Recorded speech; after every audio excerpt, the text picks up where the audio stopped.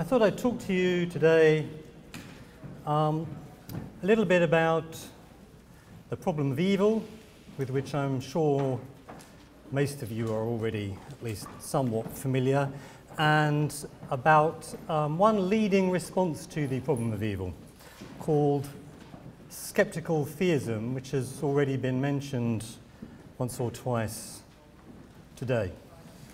So, uh, if nothing else, um, I'm hoping that you'll take away from this talk um, a kind of broad brushstrokes picture of exactly how, uh, well, the gist of how uh, skeptical theism is supposed to work as a response to the problem of evil. So I'm going to do this. Here we go. I'm going to introduce the evidential problem of evil, outline one leading response to it, skeptical theism, and examine one objection to skeptical theism, which I call, this is my label, uh, the Pandora's box objection. Can you hear me okay? Not really. Not really. Okay, it's a bit of adjustment. is that any better? Yes. Okay, I've got to get pretty close. Okay, so uh, I've got jet lag and I may drift into, uh, drift into mumbling or incoherence at any point. If I do, let me know, okay? I'll charge you with that. right. so, uh, First of all, which God are we going to be talking about? The traditional three O's God is the focus here. A God that is omnipotent, all powerful, omniscient, all knowing, and omnibenevolent, all good, roughly speaking. Uh, here is the problem of evil. Actually, there are two problems of evil, so I'll, I'll mention one problem just to put it to one side. Okay, so the first problem of evil is the logical problem of evil as it's known. And there it is at the bottom of the slide. It has two premises and a conclusion. The first premise is if evil exists, God does not exist. Why might you think that true? Well, God is all powerful, right? And he will have the power to prevent evils existing and he's, he's omnibenevolent. He won't want there to exist any evils. So there really shouldn't exist any evils at all. But premise two, evils exist. Uh, conclusion, God does not exist. Uh, that's the simple logical problem of evil. Um, not so popular nowadays, um, actually. Uh, usually a stock response to this argument would be something like this. Um, there may be very great goods that God can't have or can't allow unless he allows for certain evils. And under those circumstances, then he may allow those evils in order to obtain those greater goods. So there may exist evils. The existence of evil is not uh, logically incompatible with the existence of this particular deity. So can you hear me okay still? Still? We still good? Okay. So I'm just going to put that problem to bed. I mean, may, maybe there's some significant problem there, but I'm just going to put it to one side. Um, the other problem of evil are the one on which I'm going to focus. It's the evidential problem of evil. Um, and again, it, it, looks very similar. Basically, it's the same argument, and you, you add a word, right? And that word is gratuitous. Uh, at least on, at least as the argument is popularly presented. The argument can be presented in a number of different ways, uh, and this is a fairly standard example. Um, premise one, if gratuitous evils exist, God does not exist. God may allow evils if that's the price paid for greater goods, but he's not going to allow gratuitous evils, by which we shall mean evils for which there is no good, God justifying reason. Okay? There may be evils, there aren't going to be any gratuitous evils, is the suggestion uh, here. Uh, premise two, but gratuitous evils exist, surely. Uh, hundreds of millions of years of the suffering of the sentient inhabitants of this planet before we even showed up. Surely, at least some of that is gratuitous from the point of view of this particular deity. It's highly unlikely that there is some good reason uh, for all of that. And you know, pick your own examples. So the suggestion then is if, given that gratuitous evils exist, and given that first premise, it follows that God does not exist. That's the evidential problem. Now, um, most of you, I take it, are familiar with this problem. So now let's move on to uh, skeptical theist responses to the evidential problem of evil. Skeptical theists, not just skeptical theists, actually others too, who uh, reject the argument, tend to focus, usually focus, on that second premise. Uh, they say, how do you know that that premise is true?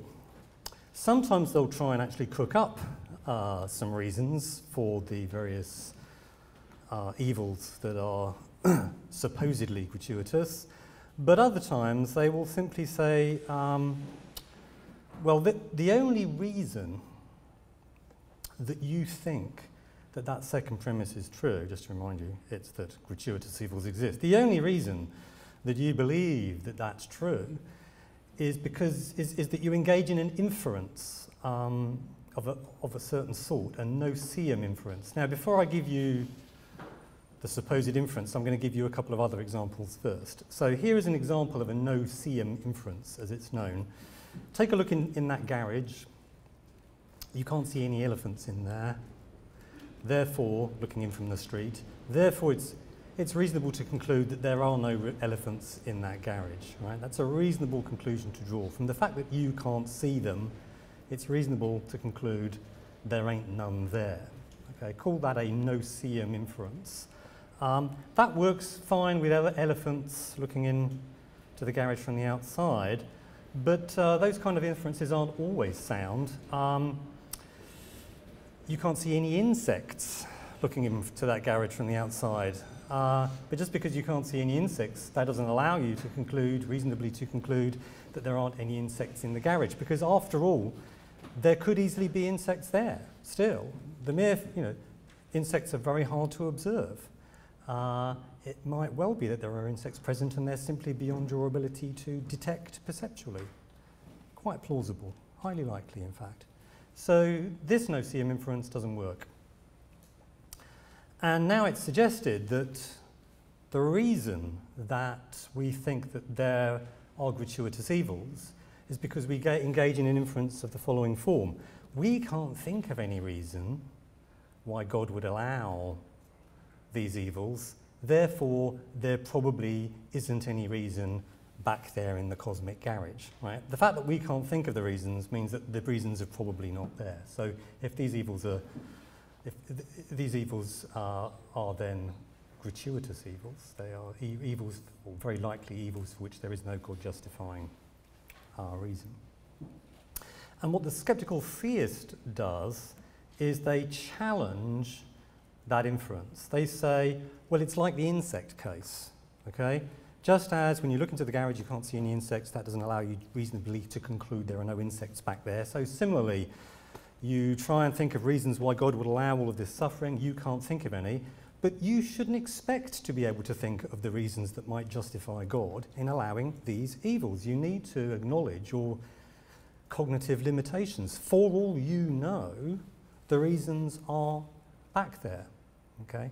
So that's the position that the skeptical theist takes.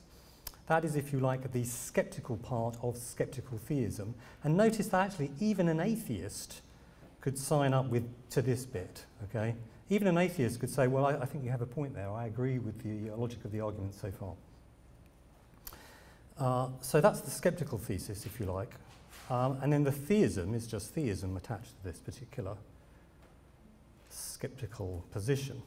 Here is one of the leading defenders of skeptical theism, Michael Bergmann are drawing just the conclusion I've described here. It's a quotation. The fact that humans can't think of any God justifying reason for permitting an evil doesn't make it likely that there are no such reasons. This is because if God existed, God's mind would be far greater than our minds, so it wouldn't be surprising if God had reasons we weren't able to think of. And so, skeptical theism, or let's call it ST. So if skeptical theism, then we have no good reason to think that there's no God-justifying reason for the evils we observe. But then we have no good reason to suppose that any observed evils actually are gratuitous evils. But then we have no good reason to think that the second premise of the evidential from arg argument from evil is true, that the premise that there are gratuitous evils. So that, given that, the evidential argument from evil, uh, the evidential problem of evil, uh, is widely considered to be the most significant argument against the existence of this God. Um, if skeptical theism works as a strategy, it effectively disarms that otherwise very powerful looking argument against the existence of God. So this is, uh, this is a pretty big victory if it is indeed a victory. uh, skeptical theism uh, has been defended and developed by a range of philosophers, Alvin Plantinga, already mentioned, Peter van Inwagen, Stephen Wykstra, Michael Bergmann, uh, Justin McBrayer, sitting at the back of the room somewhere. Oh, there he is. Uh, but then it also has uh, critics, uh, John Hawthorne, who's also here, uh, Trent Dougherty, also here, Richard Swinburne. So, you know, even theistic opinion is, div is divided on whether or not skeptical theism succeeds in uh, dealing with the evidential problem of evil. Uh, skeptical theism faces a range of objections, and I'm not even going to attempt to outline all of those objections. I'm just going to focus on one objection which particularly interests me, uh, and the objection is this, that skeptical theism uh, generates implausibly strong and wide-ranging forms of skepticism, including skepticism about the external world and the past. And I'm going to call that the Pandora's box objection. The, uh, the, the objection, in effect, is this, is that um, the skeptical theist makes a particular skeptical move in order to deal with the evidential problem of evil, but the skepticism then runs riot, right? They've let the skeptical genie out of the bottle, they've opened the box, and suddenly they're having to be skeptical about all sorts of other things, ultimately in fairly absurd ways, which I'll now spell out for you. Um, so, here's the Pandora's box objection, or I'll start off modestly and then expand the range of the skepticism. So, uh, if skeptical theism is true, then presumably there could also easily be, back there in the cosmic garage, reasons for God, if he exists, to deceive us uh, in many ways. After all, skeptical theism blocks this no-see-em inference too. We can't think of a good reason for God to deceive us about so-and-so. Therefore, there's probably no such reason, right? Uh, if skeptical theism blocks the other inference about reasons for evils, it blocks this inference too. So we can't know, it seems, that there's no good reason for God to deceive us about this, that, and the other thing. But then, for all we know, God has reason to deceive us, and indeed, as indeed is indeed deceiving us uh, about all sorts of things. Certainly, we can no longer reasonably trust anything He says. He might have good reason to lie to us. Uh, precisely this point is made by Eric Wielenberg uh, in a recent paper. According to Eric Wielenberg, skeptical theism entails that we can't reasonably believe any proposition having word of God justification only. You can no longer take God's word for anything once you've embraced skeptical theism, because after all, for all you know, he has a really good reason to lie to you, despite the fact that he's good. Uh, here's another seeming consequence of skeptical theism. Um, how do we know that God hasn't got a very good reason to start a false religion by miraculously raising Jesus from the dead. Uh, skeptical theism seems to entail that we don't know that uh, God lacks such a reason. After all, the mere fact that we can't think of such a reason doesn't mean that there isn't a reason back there somewhere in the cosmic garage that would justify God in deceiving us in this kind of way. Um, but then why suppose, if you're a skeptical theist, why suppose that the resurrection supports Christianity? Uh, shouldn't, in fact, our skeptical theist now distrust not just what God says, but everything that he might seem to reveal to us? Surely you shouldn't be trusting your revelatory experiences anymore. Maybe they aren't really so revelatory. For all you know, God has a good reason to deceive you by means of these experiences. So you can see that the skepticism is spreading now in what is, for most religious folk, a pretty toxic way.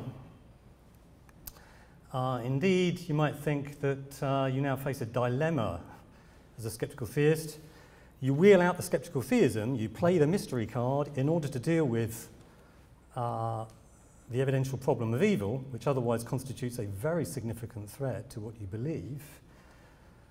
But unfortunately, the skepticism that you have invoked to get out of jail free then undermines your religious belief beliefs in various other ways. So, one way or another, your religious beliefs are undermined.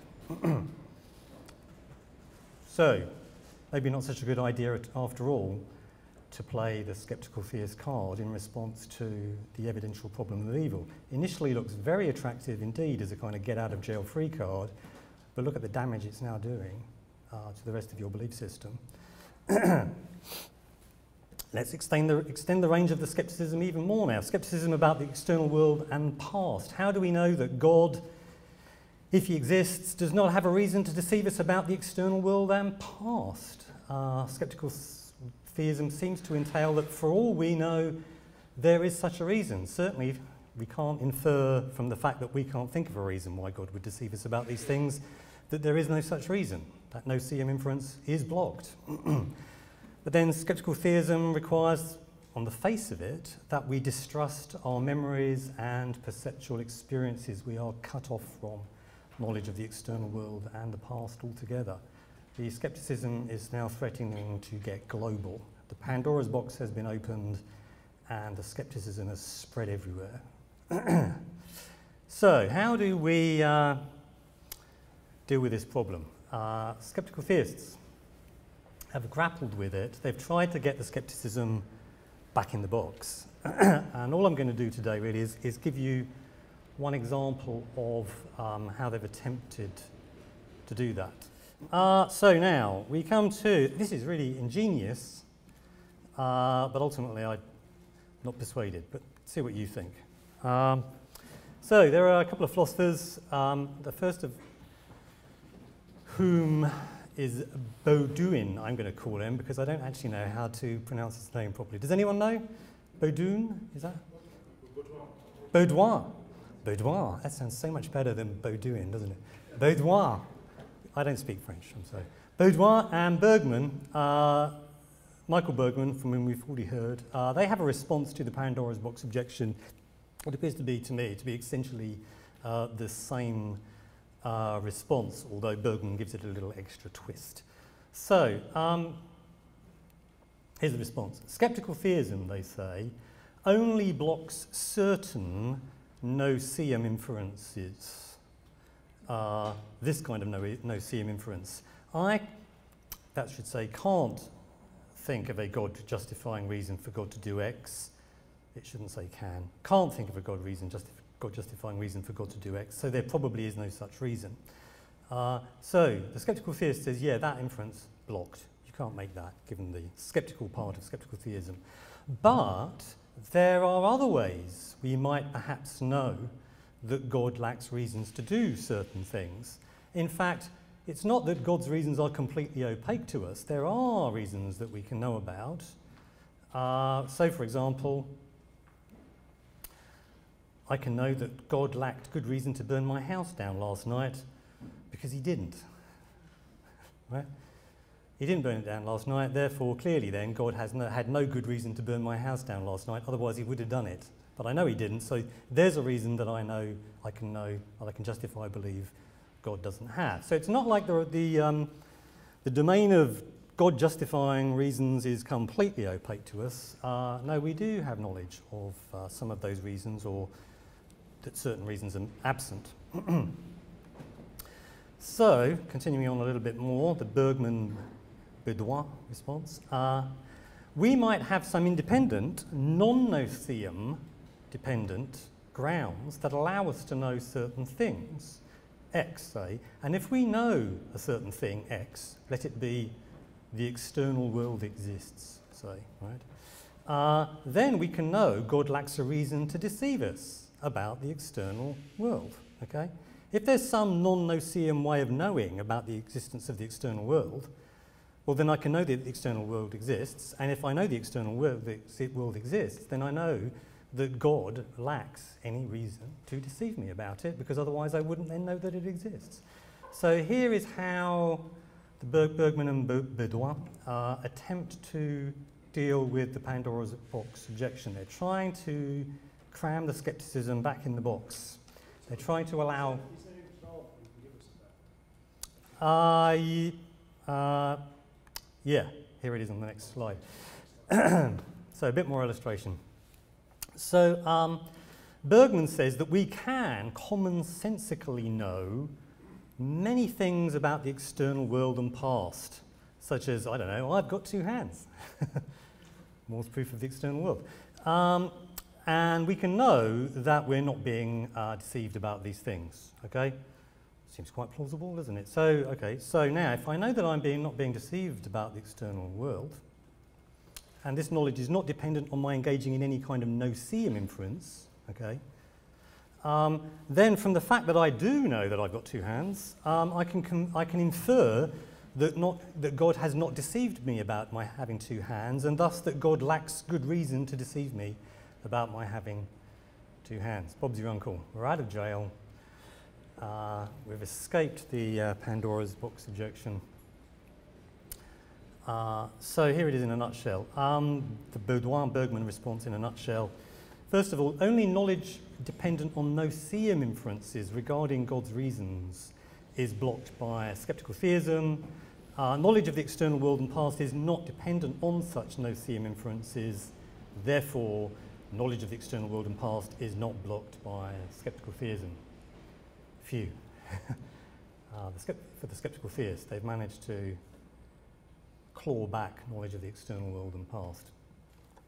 Whether they can do that trick with the resurrection, I don't know. But we'll put that one, we'll put that thought to one side. So are you, are you with me um, so far? Yeah? So this is, I think, I think this is fair to say, I think this is the probably the leading response um, to the Pandora's objection, box objection to um, skeptical theism. But there are some other responses too. And um, I'm not going to even attempt to go through the others, okay? Justin McBrayer has one, actually. Um, and there's some others, some others too. Okay, so now I'm going to give you, I think we're all up to speed with their response. Um, I'm going to give you my worry about this kind of attempt to cram the skepticism back in the box, okay? So, and it involves um, an analogy uh, with another case, uh, which I'm going to call Ollie's orange. Okay, so um, suppose I seem to see an orange on the table in front of me. Under normal circumstances, it would be perfectly reasonable for you to think that there's an orange there, right? Uh, we're, we're, surely we are entitled to take such seemings at face value if we have no reason to think that there's anything funny going on. Okay, so I'm on Bergmann's view, can commonsensically know that there's an orange there. But now I learn, I obtain new information. Okay, so here's the new information. I then learn that Ollie has a holographic projector that can project convincing looking images onto tabletops. And he also has an urn, there it is, containing balls, an unknown proportion of which are black. I'm clueless as to how many of the balls in that urn are black. Maybe they're all black, maybe none are black, maybe half of them are black.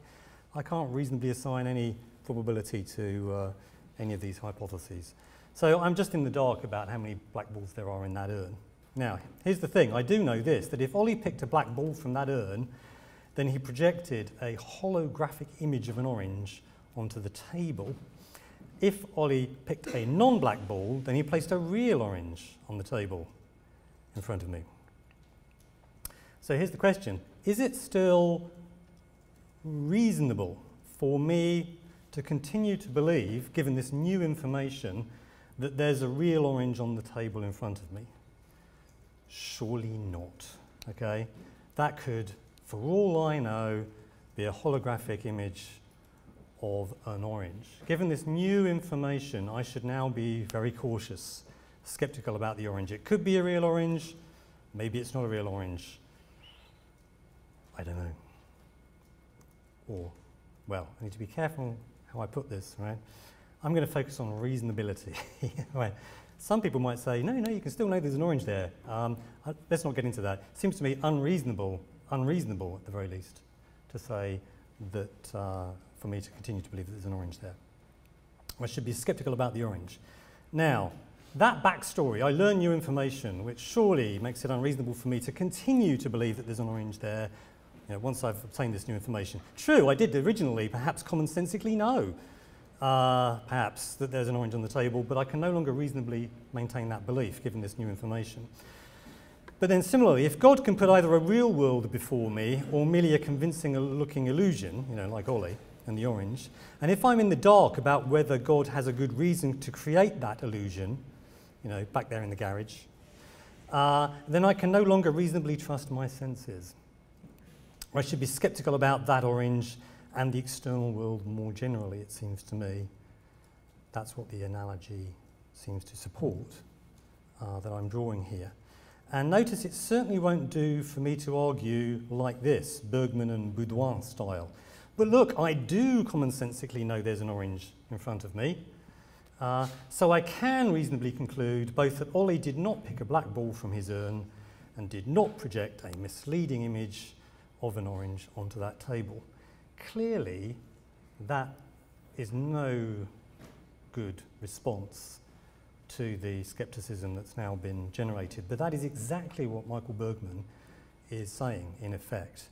Um, that is to overlook the fact that this new information about Ollie the urn and the projector gives me reason to distrust the original appearance, despite the fact that my original belief was not in any way grounded in any kind of no-seeum inference. I mean, that was not the reason why I held the belief in the first instance or why I considered it reasonable. I wasn't relying on no-seeum inferences, but the fact is that once I'm in possession of this new information about Ollie, the urn and the projector, I can no longer reasonably take appearance at face value. And if that's true of Ollie and the orange, then that's true of God and the external world. I should no longer be trusting my senses given this new information, skeptical theism, even if it's true that absent skeptical theism, it's perfectly reasonable to take perceptual appearances at face value. So it seems to me that the Beaudoin-Bergmann response to the Pandora's box objection fails. And that means that the skepticism is still global. They haven't shut the lid on the box. They still have the problem that when they apply their skepticism in order to get them out of trouble with the evidential problem of evil, the skepticism runs all over the shop and undermines their knowledge of the external world and the past, their knowledge of the truth of the Christian religion, and so on. Uh, they have not dealt with that problem. So they're still faced with that fundamental dilemma, dilemma um, which I presented earlier. Um, atheists, on the other hand, have no problem whatsoever with the skeptical part of skeptical theism. They can sign up to it, it seems to me. Um, they would be someone uh, like this, who knows about the urn and knows about the holographic projector, but has absolutely no belief in Ollie, uh, who turns the holographic projector on and projects images of oranges with it whenever he pulls a black ball out of the, uh, of the urn. Um, there may be, it may be that, you know, I, I, there, there, are reasons back there that would justify God if he exists in uh, deceiving me, but I don't believe in a God. So the fact that there are those reasons back there is completely irrelevant. It doesn't undermine my belief in the external world. It only undermines the belief of the theist, not my own, not my own reasonable belief. So um, the, skeptic, the skeptical theist, it seems to me, on the face of it, is now in terrible, terrible trouble here um, by signing up to the skeptical part of the skeptical theism, where the, whereas the atheist is in no trouble at all, as far as I can tell. So here's what we've done. Um, I've outlined the Pandora's box objection to skeptical theism, and I have examined one response to that, and there are others, um, from Baudin, Beaudoin and Bergmann. And I've argued here that their particular response fails. Um, there are a number, of the, a number of other responses to the Pandora's box objection, and I examine many of them uh, in my paper, The Pandora's Box Objection to Skeptical Theism, so if you're interested, it's in the International Journal of Philosophy of Religion 2015. If you want a copy of the paper, I'll happily uh, email you a copy of the paper if you email me at that um, address, think at royal institutephilosophy.org. Don't put the word of in there, that's going to kill it. I'll never reach me. Royal, Royal Institute Philosophy.org uh, if you want a copy of.